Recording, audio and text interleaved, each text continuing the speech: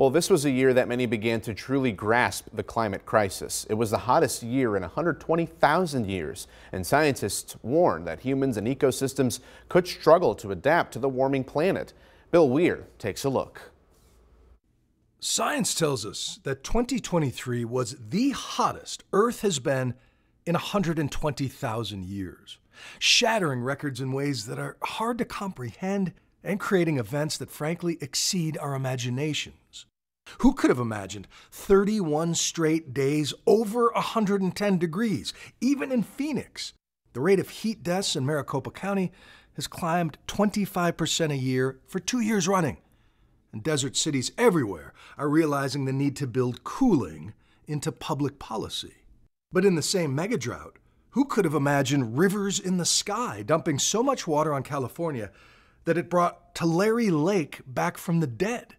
If you'd stood here for the last couple of generations, you'd be watching the sunset over dusty fields of cotton or alfalfa or pistachio trees, and now it is waterfront property. This new age of water whiplash means too much H2O or never enough across huge swaths of the nation, forcing farmers and water managers to reimagine how every drop is used or wasted.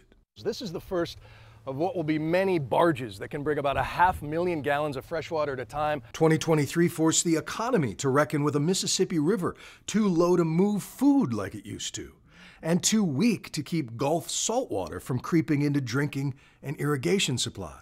And when West Maui was the lush Venice of the Pacific, no one imagined how generations of water theft and invasive grasses would turn the capital of the Hawaiian kingdom to tinder or the hurricane winds that would blowtorch the precious town of Lahaina into ash in the deadliest American wildfire in modern times. It's just unrecognizable.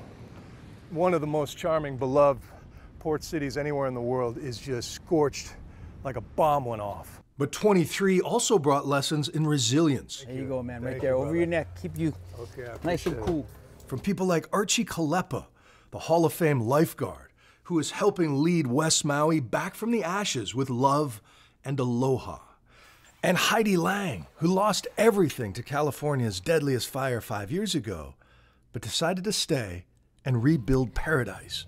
my community and my my neighbors and my friends and my church and my job was all still here. So my little village, my little village is here in paradise. Heidi and her neighbors are learning from tragedy and rebuilding stronger than ever. These are aluminum mm-hmm. frame, mm-hmm. tempered glass. And as disaster forces us to reimagine how to live with nature transformed, breakthroughs in clean energy also abound by the day. And you only need a tiny little bit of fuel. That's right, yeah. Scientists at the National Ignition Facility have repeated their success in nuclear fusion, nudging us closer to a world powered by little man made stars and boxes that use salt water for fuel and never melt down. There's still many, many technology jumps that we need to make, but that's what makes it so exciting. But even if fusion takes generations, the two cheapest forms of energy in human history are already onshore wind and sun. And with a surge of investment in clean energy storage, startups like Antora hope to power entire factories with thermal batteries like this. 1600 degrees Celsius. So this is hotter than the melting point of steel, and it's just a couple feet inside that shell. I had a hard time explaining to my kids what nuclear fusion is, but this is just a hot rock in a box. Exactly. So 2023 also reminded us to expand our imaginations, not just for the worst that can happen, but the best. The transition is inevitable. It's going to happen. We have the tools we need, we just need to deploy them.